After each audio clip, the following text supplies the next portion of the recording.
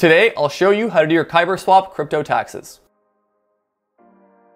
Hello, my name is Nelly and welcome back to another integration video. Today we're talking about Kyber Swap and specifically how to do your crypto taxes with the help of Koinly. So I'll tell you a little bit about them, then I'll jump into the integration part of the video, and then lastly I'll show you how to get your necessary tax documentation. If you have any comments, questions, concerns, I'll leave a bunch of different resources down below.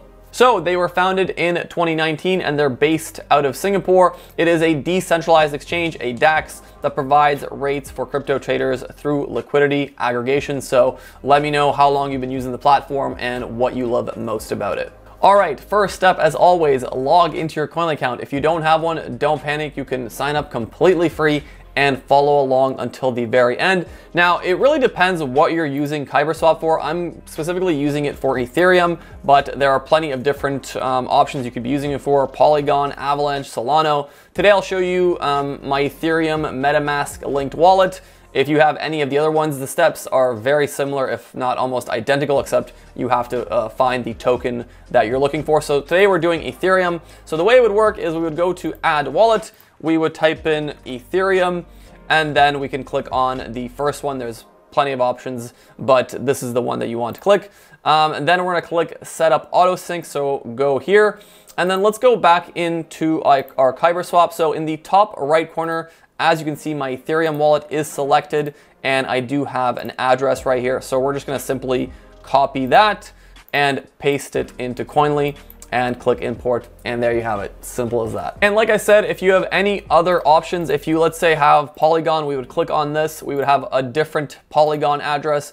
We would go into add wallet. We would type in polygon and um, there it is. And then the same procedure we would type in a public address and click import. And once your transactions have been imported into Koinly, go into the transactions area, just check underneath the hood and make sure everything is sitting correctly here with you. If you have any types of staking, make sure that stuff is tagged correctly, sent to pool, sent from pool, and all that. Once you're happy with everything you see there, go into your tax reports area for one final summary of your crypto activity throughout the year. Um, you can see your capital gains, your costs and expenses, your income, and all that other important information on this page.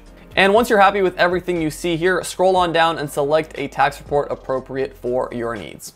And we have plenty of different tax reports. So for the US, we have the IRS Schedule D Form 8949. You can also export to TurboTax both online and desktop versions. We have reports for UK, Sweden, Norway, France, Switzerland, Australia, and then lastly, Canada, Germany, and other countries. We have the complete tax report, which keep in mind is a document you can print off and give directly to an accountant, and they will combine it with other tax documentation. Or alternatively, you can invite them to Koinly to set up their accountancy firm here with us. And then lastly, what I tell everyone is check your country's rules and regulations because this tax report might be deductible. But that'll do it for today's video. If you need further assistance, not to worry, a bunch of different resources down below. Starting off with the Koinly Help Center, we have countless different crypto tax related articles that will help you out with any of your crypto tax related questions. We have a feedback section if you're having any issues with our software. We have a forum section if you want to talk to members of our community as well as our staff. And then lastly, we have a contact section. If all else fails, send us a message directly and we'd love to help you out. But I do hope you found this video helpful. If you did, consider dropping a like, subscribing for more crypto content, and I'll see you next time.